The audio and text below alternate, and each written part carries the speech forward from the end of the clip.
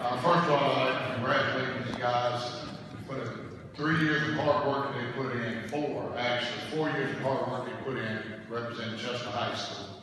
There's no doubt in my mind when they leave us, they will represent us in the same fashion. Um, a lot of people dream about having an opportunity to play college football and get an opportunity to get away from home, and I think both of these guys are definitely going to get that, going opposite ends of the world. But um, John's had a kind of a glorified senior year, making all-state, all-area, regional player of the year, um, being named to a lot of different teams along the all-star game.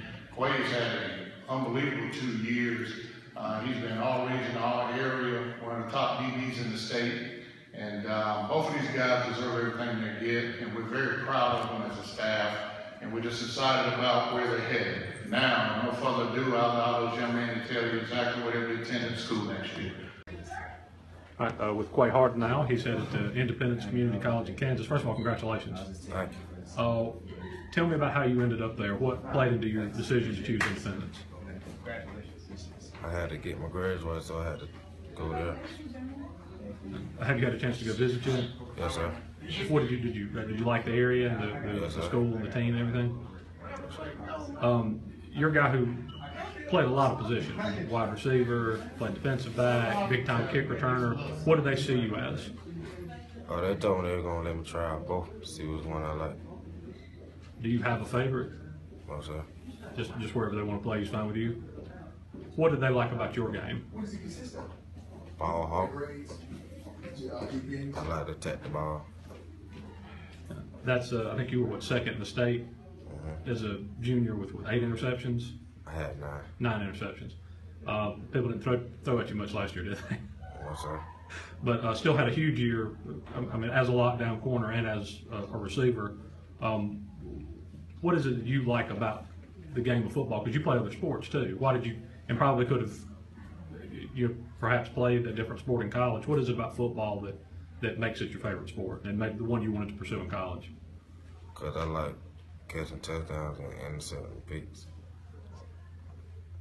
All right, With uh, John Irby, first of all, congratulations. Thank you. Uh, tell me how you ended up at Rhode Island University. Um, Coach Varner, he was at East Carolina University, and he was scouting me there, and he got a job from Rhode Island, and he wanted to offer me as soon as he got there. So that's how I ended up there.